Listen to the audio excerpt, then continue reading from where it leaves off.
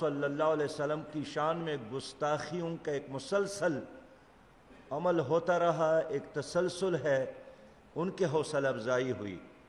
اور پھر ہم نے دیکھا کہ بارہ اپریل کو حکومت نے جناب رضوی صاحب کو گرفتار کیا، اس پر لوگوں نے احتجاج کیا۔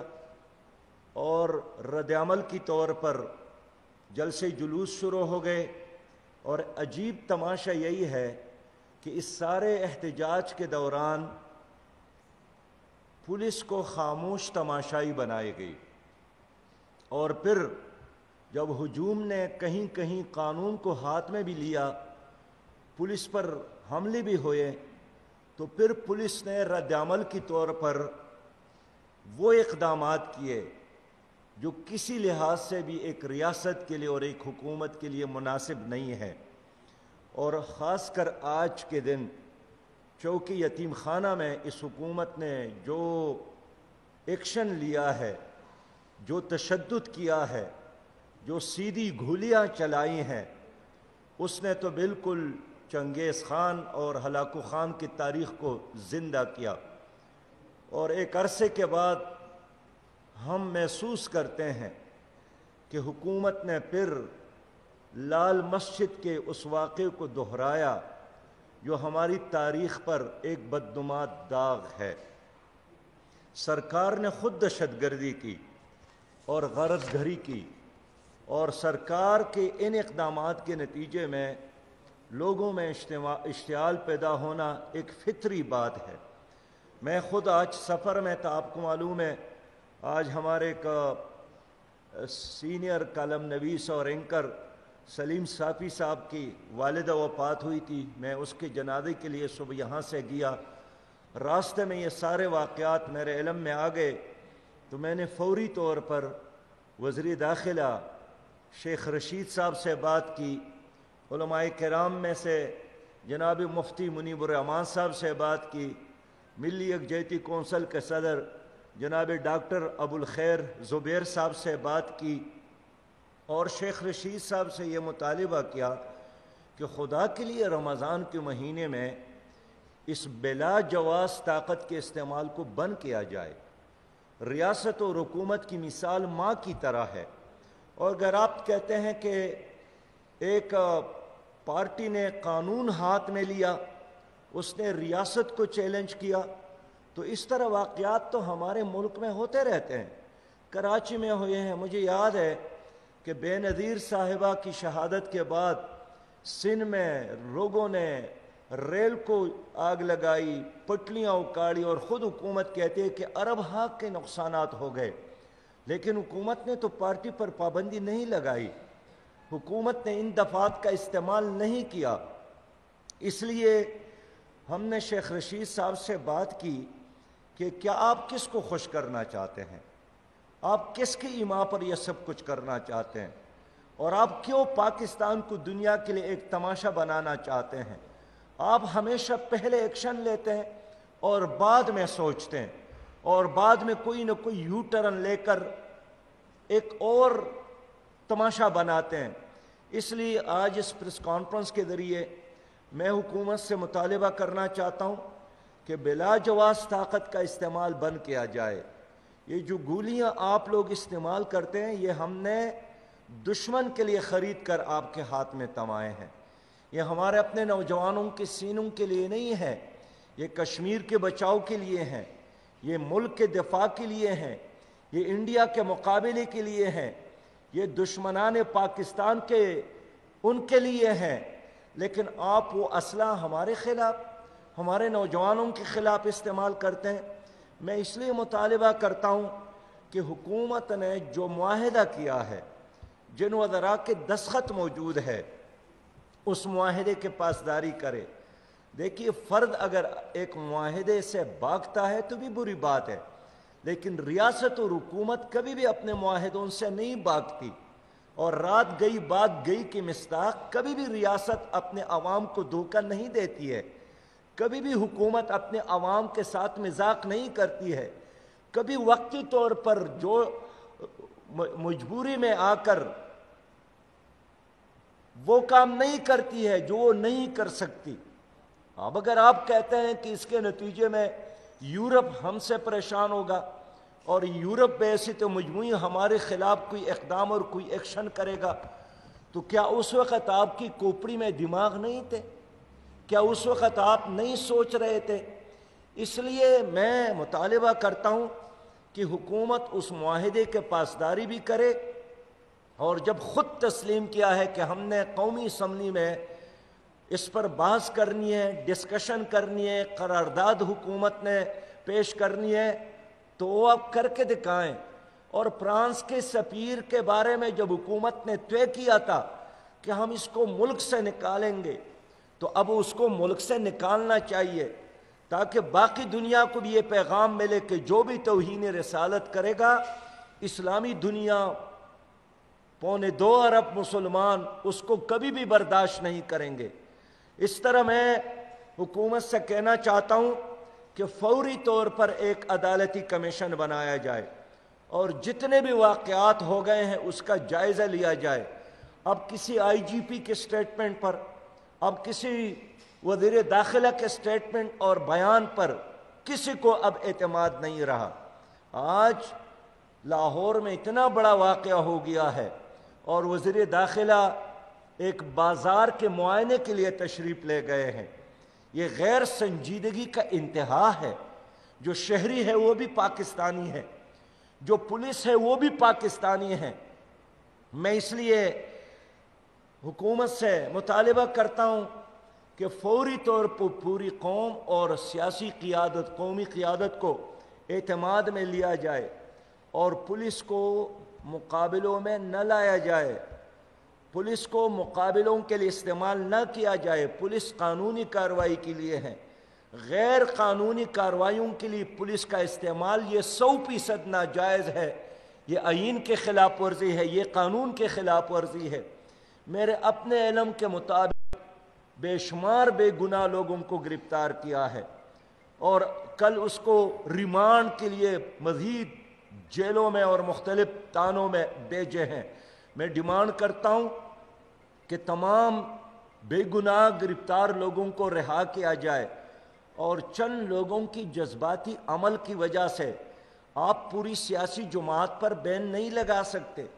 چند لوگوں کی جذباتی اقدام کی وجہ سے، جس کو سمجھنے کی ضرورت ہے، جس کو ایڈریس کرنے کی ضرورت ہے، جس کو مطمئن کرنے کی ضرورت ہے، آپ میرے ملک میں ایک ایسی روایت کو قائم نہ کرے حکومت تو ایک سیاسی پارٹی ہے، یہ کام تو عدالت کا ہے، یہ کام تو الیکشن کمیشن کا ہے۔ حکومت اگر کوئی اقدام کرتی ہے تو ان کے ساتھ تو ہمارا مقابلہ ہے، سیاسی مقابلہ ہے، الیکشن کا مقابلہ ہے۔ کس نے حکومت کو یہ اختیار دیا ہے کہ آپ اپنے ایک مد مقابل پارٹی کو بین کر لیں، اس لیے بے گناہ لوہوں کو رہا کیا جائے اور حالات کو نارملائز کرنے کے لیے مذاکرات بھی کیا جائے۔ میں نے آج مفتی منیب الرحمان صاحب سے بھی رابطہ کیا، جناب ڈاکٹر ابو الخیر زبیر صاحب سے بھی رابطہ کیا، ان سے بھی یہی کہا کہ حالات کو نارمل بنانے کے لیے آپ لوگ بھی اپنا کردار ادا کرے اور کل منصورہ میں ہم نے ملی ایک جہتی کونسل اور دوسرے علماء کا اجلاس بھی بلایا ہے تاکہ ہم مل کر اجتماعی طور پر اس سچویشن کا جائزہ لے لیں اور اس سچویشن سے اپنے ملک کو نکالنے کے لیے ہم اجتماعی کوششیں جاری رکھیں۔ سب سے بڑی ذمہ داری حکومت کی ہے۔ حکومت نے ظلم کیا ہے۔ حکومت نے مس ہینڈلنگ کی ہے۔ حکومت نے یورپ کو خوش کرنے کے تمام اقدامات کیے ہیں اور شاید ایف اے ٹی ایف کے معاہدے کو کامیاب کرانے کے لیے سب کچھ ڈیزائن کیا گیا۔ رمضان کے مہینے میں اقدامات کرنا، رمضان کے مہینے میں گرفتاریاں کرنا، رمضان کے مہینے میں لوگوں کو شہید کرنا، یہ سب کچھ مجھے ایک فری پلین لگتا ہے اور شاید حکومت اپنے مقاصد کے اصول کے لیے انہوں نے اس ڈرامے کو سٹیج کیا ہے جس کے ہم مذمت کرتے ہیں اور میں امید رکھتا ہوں کہ حکومت اس ساری سچویشن کا خود ہی جائزہ لے لے اور ایک عدالتی کمیشن بنا کر پوری سچویشن سے عوام کو آگاہ کر لے۔ بہت شکریہ ہوئی بات رہتی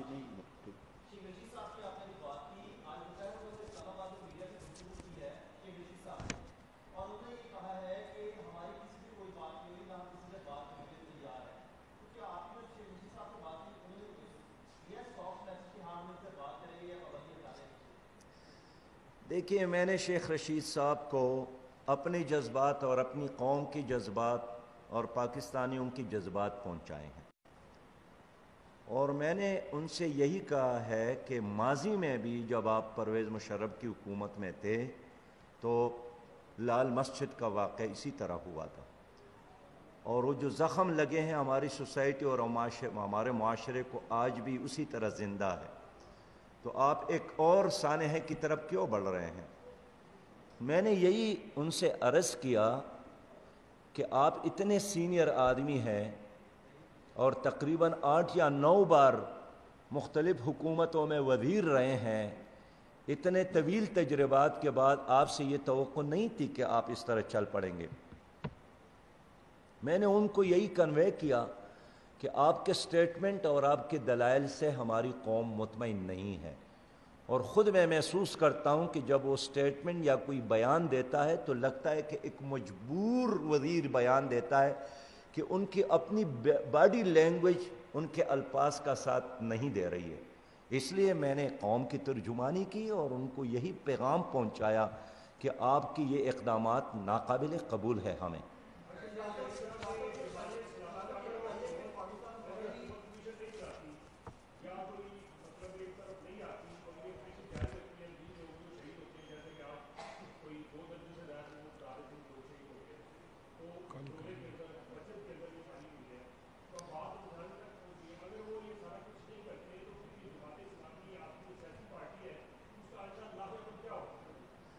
کل ہم نے اس لیے علماء کرام کا اجلاس بھی بلایا ہے ملی یکجہتی کونسل میں شامل پارٹیوں کو بھی بلایا ہے اس کے علاوہ بھی علماء کرام کو ہم بلایا ہے اور ہم مل جل کر انشاءاللہ تعالی ایک لاہ عمل بنائیں گے۔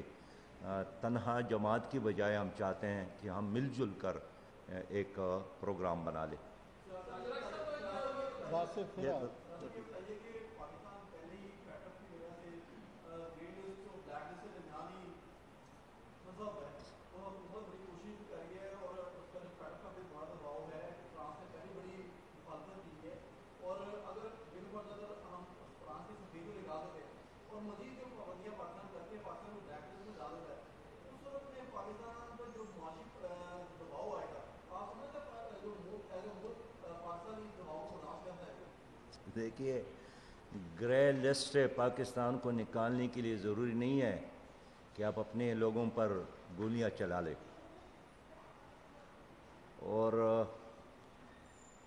انہوں نے خود تسلیم کیا ہے۔ جب حکومت نے خود تسلیم کیا ہے، خود معاہدہ کیا ہے، خود دستخط کیا ہے، اب اپنے معاہدے اور دستخط کا پاس تو رکھنا پڑے گا۔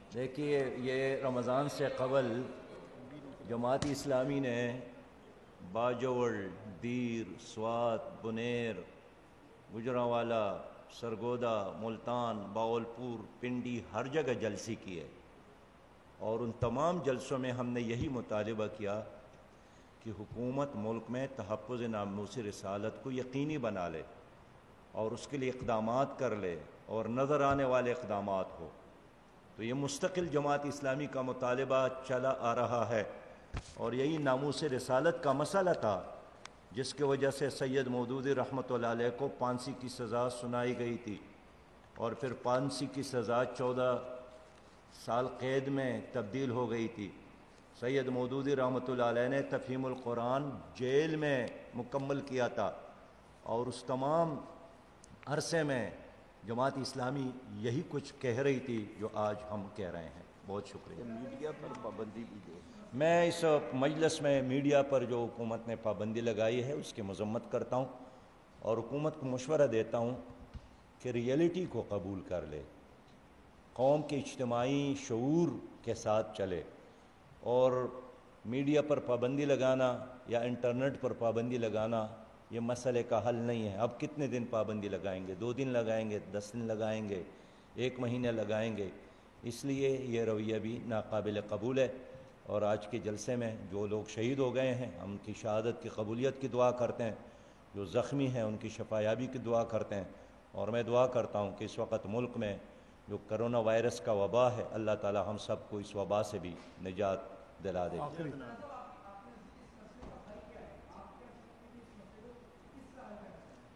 کل ہم انشاءاللہ اس پر مشورہ کریں گے اور پھر آپ کو آگاہ کریں گے۔